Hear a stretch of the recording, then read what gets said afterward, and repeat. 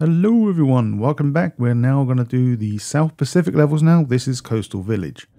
The first pickup is located on your right hand side. This will be your key that you need to have for the in Forefront achievement.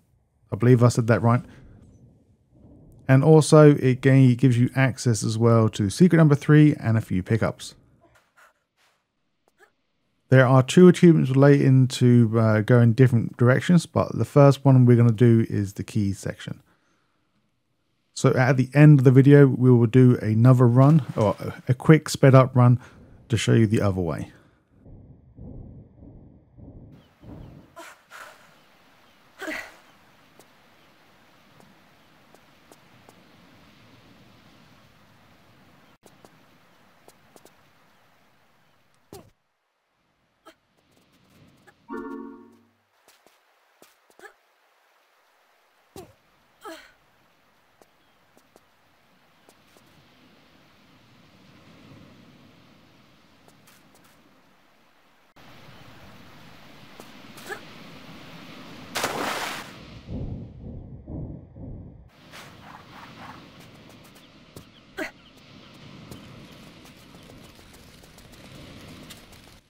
And also I just want to point out that we do actually grab the crystal. You just don't see it on the video because I actually fall on it as we go down.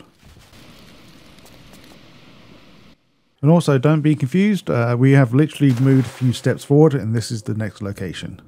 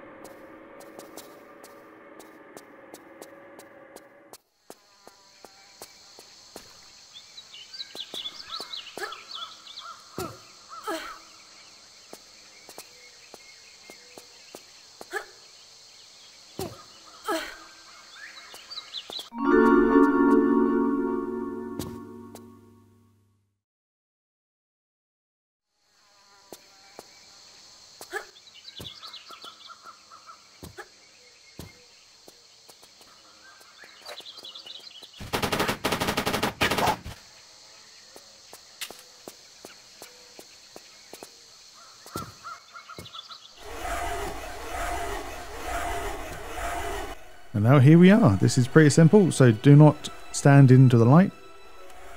Make sure you turn the light off and this won't trigger any traps. If the traps are triggered, the traps will not go down once you turn the light off. So you have to do this undetected. So basically, this is the way that skips the entire section on the left-hand side that holds your Secret 3 and the 3 red gems and a few pickups. And now we're going to reload a previous save that we made. Now we're going to redo it again. This time we are going to go to the left path because we want to get all pickups and all secrets and all the crystals too. What's the annoying thing though, I didn't get the achievement for going through the other direction. I'm assuming because I went through the hut, it didn't like trigger something going the other direction, so let's hope the achievement is not bugged and just let's hope it's just me not going the right direction. But of course you'll see that at the end of the video.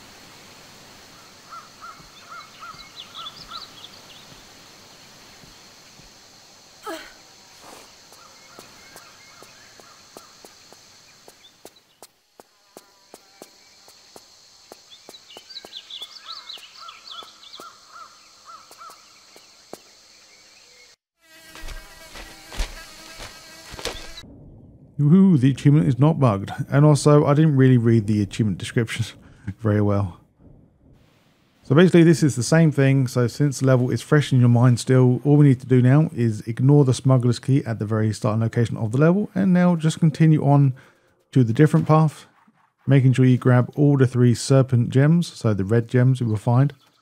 That's all we need to grab. Once we unlock the doorway, we will gain the achievement.